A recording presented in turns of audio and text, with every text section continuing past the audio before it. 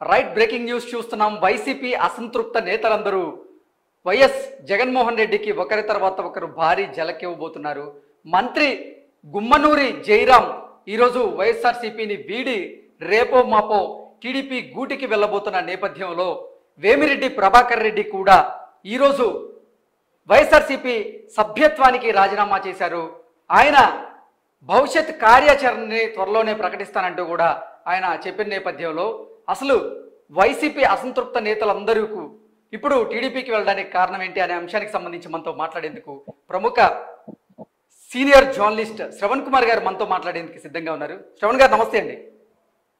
నమస్తే అండి. శ్రవణ్ గారు వైసీపీకి సంబంధించినటువంటి అసంతృప్త నేతలందరూ కూడా ఒకరి తరువాత ఒకరు పార్టీని వీడి జగన్మోహన్ రెడ్డికి భారీ జలకిస్తున్నారు. మంత్రి గుమ్మనూరి జయరాం వైసీఆర్సీపీకి రాజీనామా చేసి టీడీపీకి వెళ్ళబోతున్నాను అంటూ కూడా ఈరోజు చెప్పిన నేపథ్యంలో అలాగే వేమిరెడ్డి ప్రభాకర్ రెడ్డి కూడా వైఎస్ఆర్సీపీ సభ్యత్వానికి ఆయన రాజీనామా చేశారు వైఎస్ఆర్సీపీకి రాజీనామా చేశారు. త్వరలోనే ఆయన భవిష్యత్ కార్యాచరణ ఏంటనేది ప్రకటిస్తానన్నారు. ఏంటి సార్ ఈ పరిణామాలను ఎలా చూడొచ్చు? ఎన్నికల నేపథ్యంలో పార్టీలు మారడం సహజమైనప్పటికీ అధికార పార్టీ నుంచి వెళ్ళడం అనేది కొంచెం చర్చనీయాంశం అవుతుంది. ఈరోజు గుమ్మలూరు జయరాం గారు అయితేనేమి ఈ ఇంకొంచెం కిందటి కిందనే వచ్చిన వార్త ఏంటంటే వేమిరెడ్డి ప్రభాకర్ రెడ్డి గారును తన భార్యతో భార్య. కూడా రాజకీయంలో ఉంది. టీటీడీపీ టీటీడీలో సభ్య ఉన్నది పోస్టు దాన్ని కూడా రాజీనామా చేస్తూ ప్రశాంతి గారు. ఇద్దరు కూడా వైఎస్ఆర్ పార్టీకి రాజీనామా చేస్తూ జగన్మోహన్ రెడ్డి గారికి లెటర్ పెట్టినట్టు కూడా మనం చూస్తున్నాం. వీళ్ళే- కాదు అంటే ఈ రోజు గుమ్మలూరే కాదు తర్వాత ఇప్పుడు వేమిరెడ్డి గారు కాదే కాకుండా నిన్న ఆనం రామనారాయణ గారు అయితేనేమి కోటమిరెడ్డి శ్రీధర్ రెడ్డి గారు అయితేనేమి మేకపాటి చంద్రశేఖరరావు గారు అయితే ఎవరైతేనేమి ప్రధాన నాయకులు ఒక్కొక్కరు ఒక్కొక్కరు ఒక్కొక్కరు కూడా పార్టీని వీడుతున్నారు. జగన్మోహన్ రెడ్డికి తీరా ఎన్నికల ముందు చాలా నష్టాన్ని అయితే కోల్పోతున్నాడు. చాలా నష్టాన్ని అయితే చవి చూస్తున్నాడు. వాస్తవానికి ఎన్నికల నేపథ్యంలో ఎన్నికలు దగ్గర పడతా ఉంటే ఆయనకు బలం చేకూర్చాలపై ఒక్కొక్క చెయ్యి అంటే బలాన్ని ఆయుధాలన్నీ కూడా పోతున్నాయంటే కారణం అంటే కేవలం అతని అటువంటి ఏకస్వామ్య ధోరణి. ఏంటంటే నియంత్రిత ధోరణి. ఇక్కడ కూడా అది స్పష్టంగా ఇక్కడ వేమిరెడ్డి నారాయణ వేమిరెడ్డి ప్రభాకర్ రెడ్డి గారు చెప్తున్నటువంటి మా మ్యాటర్ ఒకసారి మనం పరిశీలిస్తే నేను నెల్లూరు కాన్స్టిట్యూషన్కి నన్ను ప్రతినిధిగా ఎంపీ టికెట్ నెల్లూరు కన్ఫర్మ్ చేసి అతనికి నెల్లూరు ఇన్ఛార్జ్ ఇవ్వడం జరిగింది. ఇక్కడ నెల్లూరు ఇన్ఛార్జిగా స్థానికంగా ఎవరు గెలుస్తారు ఎవరు గెలవరు ఏంటి విషయాలు ఆయనకు అవగాహన ఉంటుంది. దాని దృష్ట్యా నెల్లూరు ఎంపీ స్థానంలో వచ్చినటువంటి కాన్స్టిట్యూషన్లో ఒక మూడు స్థానాలని మార్చాల్సింది కదా తరచూ చెప్తూనే వస్తున్నాడు మన వేమిరెడ్డి ప్రభాకర్ రెడ్డి గారు.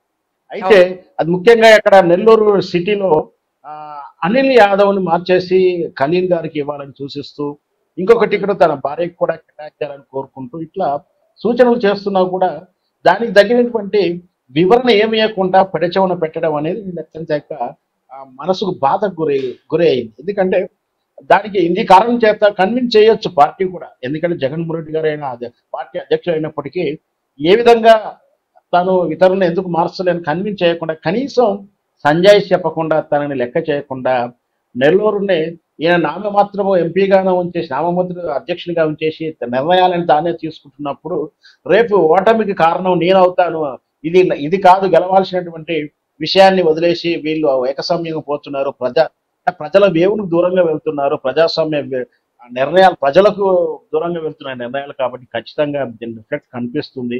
ఏదైతే నన్ను నాకు విలువనివ్వకుండా నేను చెప్పిన సూచనలు పాటించకుండా నన్ను ఆ స్థానంలో కూర్చోబెట్టడం ఎంతవరకు సబబ్ ఈ ఈ నిరంకుశత్వానికి సూచనలు చేస్తున్న మొదటి నుంచి కూడా ఈ నిన్నటిదాకా చెన్నై మద్రాసు చెన్నై నగరంలో వీళ్ళు ఎక్కువగా ఉంటారు. అక్కడి నుంచి చాలా సంప్రదింపులు చేశారు. అంతా కూడా ఇక్కడ వేమిరెడ్డి గారి గురించి చెప్పాలంటే వైఎస్ఆర్ పార్టీ రెండు వేల పద్నాలుగులో గెలవడానికి బహుశా అధికారంలో రాకున్నా సరే ఆ రోజుల్లో పార్టీకి అవసరాలైనటువంటి పారిశ్రామికవేత్తల నుంచి కావాల్సిన సహకారం ఇది మనం బహిరంగ చెప్పలేకుండా అది వాస్తవం. అంటే పార్టీకి ఫండ్ రూపంలో క్రౌడ్ ఫండింగ్ చేయడానికి పారిశ్రామికవేత్తల నుంచి పెట్టుబడులు పెట్టడానికి చాలా మందిని కృషి చేస్తే చాలా మంది క్రోడీకరించి ఆ వైఎస్ఆర్ పార్టీ గెలుపు కోసం ఎంతో ఖర్చు సంబంధించినటువంటి ఫండ్ని సేకరించిన దాంట్లో కీలక వ్యక్తి ఎవరంటే వేమిరెడ్డి గారు. ఆ రోజు ఒకవేళ వైఎస్ఆర్ పార్టీ గెలుచుంటే రాజ్యసభ సీటు ఇస్తారని మాట ఇచ్చారని కూడా తెలుస్తుంది. అప్పుడు ఇవ్వలేదు. అక్కడ తర్వాత గెలిచిన తర్వాత ఇచ్చారు. అది కూడా సంతోషకరమైన విషయమే. అయినప్పటికీ తనకి ఇవ్వాల్సిన రాజకీయ నాయకుడిగా తనకి ఇవ్వాల్సిన ప్రాముఖ్యత ఇవ్వకుండా కేవలం ఒక డమ్మీ వ్యక్తిగా వ్యవహరించడం తను అత్యంత మనస్క క్షోభకు గురవుతుంది. అయితే ఆల్రెడీ టీడీపీతో మాట్లాడుకున్నారు.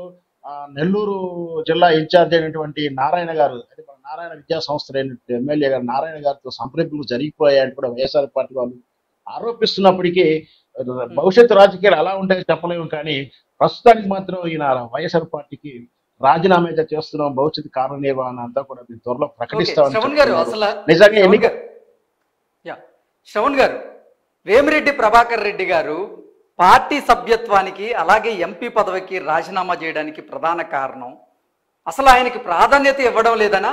లేదంటే జగన్మోహన్ రెడ్డి వైఖరి నచ్చక జగన్మోహన్ రెడ్డి నిర్ణయాలు నచ్చక ఆయన ఇటువంటి నిర్ణయం తీసుకున్నారా అంటే ఏం చెప్తారు? రెండు మీరు చెప్పినటువంటి రెండు ఆయన ప్రాధాన్యత ఇవ్వట్లేడు కాస్త ఆయన నిరంకుశంగా వ్యవహరిస్తున్నాడు. ఆయన ఏకస్వామ్యంగా వ్యవహరిస్తున్నాడు. కాబట్టే కదా ఈయన ప్రయారిటీ ఇవ్వకపోవడం ఈయన ఈయన ఇచ్చిన సలహాలు పాటించకపోవడం అసలు నేను కన్సర్న్లోకే తీసుకోకపోవడం ఈయన చెప్పిన సలహాను వినకపోవడం ఇప్పుడు భార్య ప్రశాంత్ గారు టికెట్ ఇవ్వట్లేదంటే దాన్ని అర్థం చేసుకోవచ్చు లేదా దాన్ని ఓర్చుకోవచ్చు. కానీ ఇక్కడ గెలిచే అవకాశం లేని వ్యక్తులకు మన పార్టీని నమ్ముకొని ఉన్నటువంటి వ్యక్తులకు గెలిచే అవకాశం ఉన్న వ్యక్తులకు ఇవ్వాలని సూచన చేస్తున్నప్పుడు పట్టించుకోకపోవడం సూచనలు విలువ ఇవ్వకపోవడం దాని దగ్గరటువంటి సంజాయిషి ఇవ్వకపోవడం అసలు అసలు లెక్కలోకి తీసుకోకపోవడాన్ని ఒక రకంగా మానసిక క్షోభకు గురి చేసింది వేం వేమిరెడ్డి గారికి. ఎందుకంటే వేమిరెడ్డి గారు వాస్తవానికి వైఎస్ రాజశేఖర రెడ్డి అభిమానిగా అభిమాన సంఘాల తరపున అభిమానిగా వ్యాపారవేత్తగా ఉంటూ నాయనను చూసి అతను అతను ఆదర్శంగా తీసుకుని అభిమానిగా రాజకీయాల్లోకి వచ్చి వైఎస్ఆర్ పార్టీ తన అభిమానిగా ఇచ్చినటువంటి జగన్మోహన్ రెడ్డి కుమారుడు కరెక్షన్.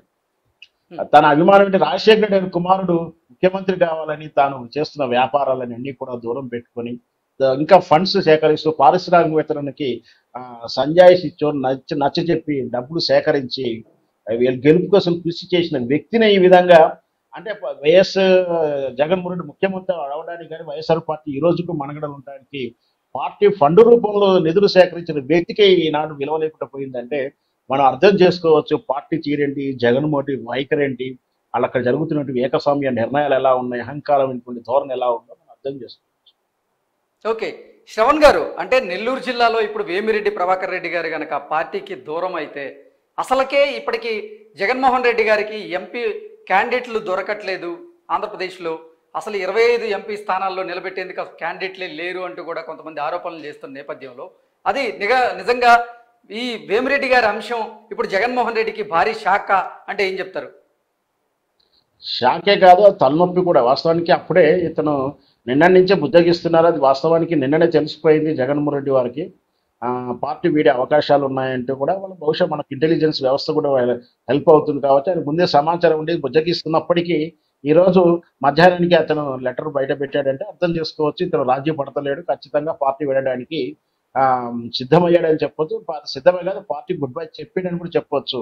దీంతో నెల్లూరు జిల్లా ఒకటే కాదు వాస్తవానికి చాలా చాలా ఎంపీ స్థానాల్లో చాలా ఖాళీ స్థాన ఖాళీగా ఉంది. సరి అయినటువంటి పోటీ చేయడానికి గట్టి అభ్యర్థి దొరకట్లేని పరిస్థితులు.